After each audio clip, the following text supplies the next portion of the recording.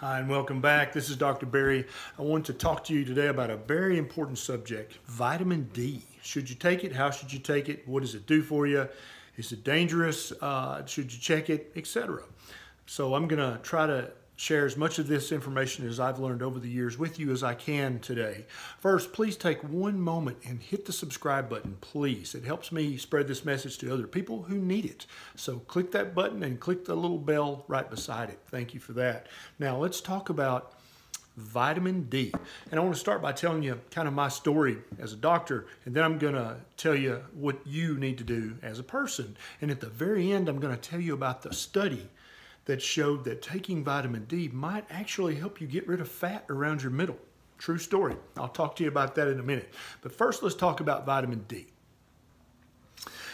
During all of my medical school and residency training, no one ever taught me about vitamin D supplementation for adult patients, ever. Only in newborn patients did we talk about vitamin D drops as supplementation because uh, women don't make vitamin D in their breast milk. At least that's what I was taught. And that's actually not true, and that will be the subject of a subsequent video.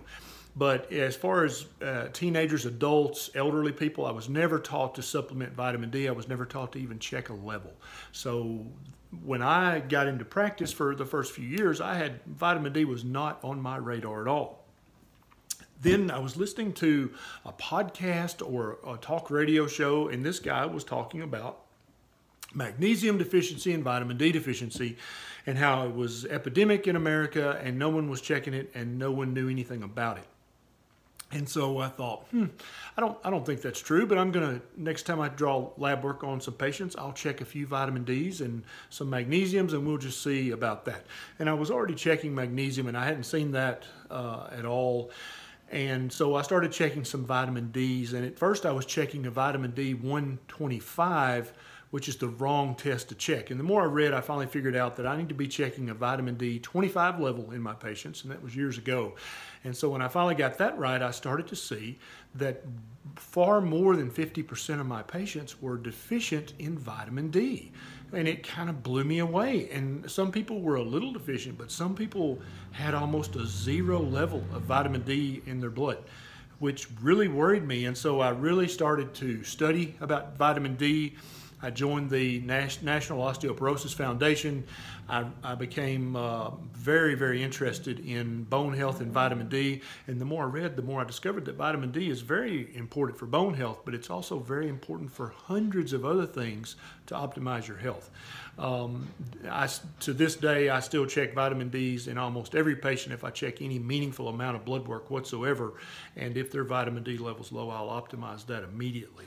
So the next question is, is which kind of vitamin D should I take? There are two different kinds, uh, mainly. There's vitamin D3, which is the kind of vitamin D you can get over the counter at the health food store or at the pharmacy without a prescription. And then there's vitamin D2. Uh, vitamin D2, you have to have a prescription to get. And so in many doctors' doctor brain, that means that it must be the right kind if you have to have a prescription to get it. And that in this case, the doctor brain is absolutely wrong. Vitamin D3 is much better absorbed than vitamin D2. It's a much more natural way of taking it, and you, you actually get much more of an absorption rate from taking vitamin D3. So if your doctor prescribes you vitamin D2, 10,000 units or 50,000 units a, a week or a month, nod and smile and be respectful, and then go buy some vitamin D3 and take that once a day because that's a much more natural way to get your vitamin D. Now, Obviously, most of us know that you can get vitamin D from sunlight. We have played and worked in the sun for so many thousand years that our skin learned how to make a vitamin from sunlight. Sunlight is natural. God made the sun and God made you. And so we can use sunlight to make vitamin D. And if you live close enough to the equator, you can actually get all the vitamin D you need from just playing in the sun. But for those of us who live uh, kind of between, if, if you draw a line between LA and Atlanta in the US, anybody who lives north of there, you're going to have a little bit of trouble getting enough vitamin D from the sun. And the farther north you live, the harder it will be.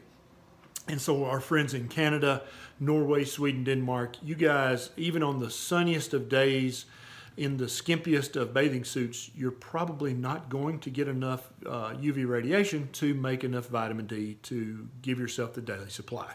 So people at very, very northern and southern uh, latitudes have to take a vitamin D supplement or they will be chronically low in vitamin D.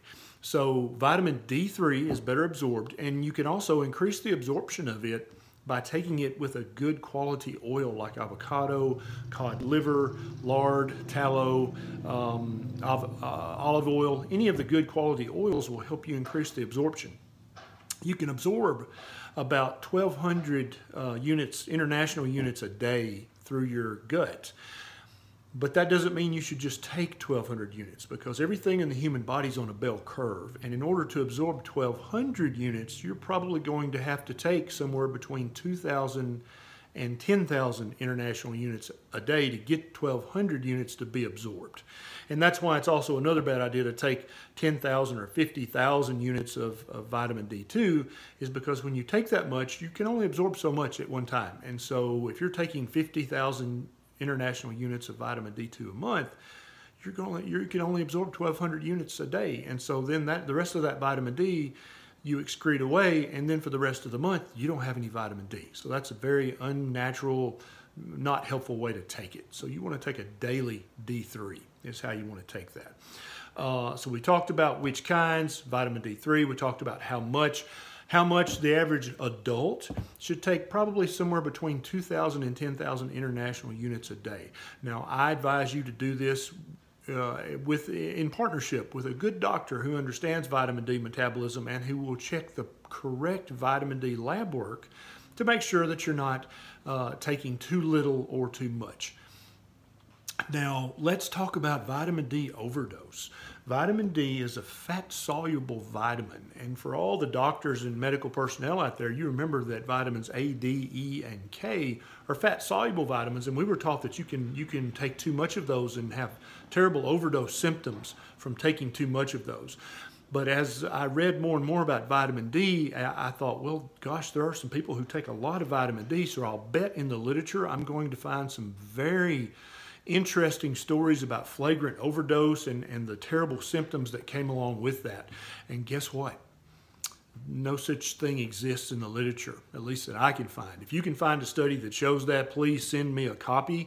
But there have been case studies of patients who have taken thousands of times the amount that I've just told you to take for months at a time and suffered no ill effects whatsoever when the doctor or the patient finally discovered that they were taking too much, they merely decreased their dose back down to the normal dose and everything was fine.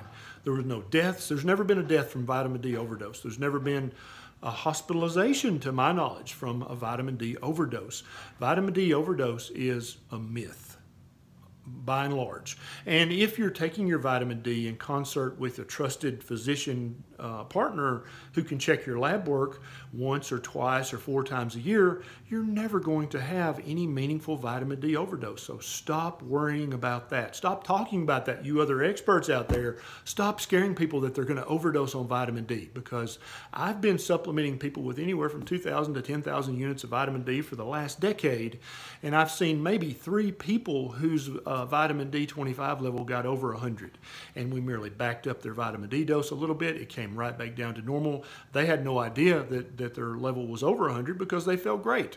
So don't worry about vitamin D overdose. It's not a thing, okay?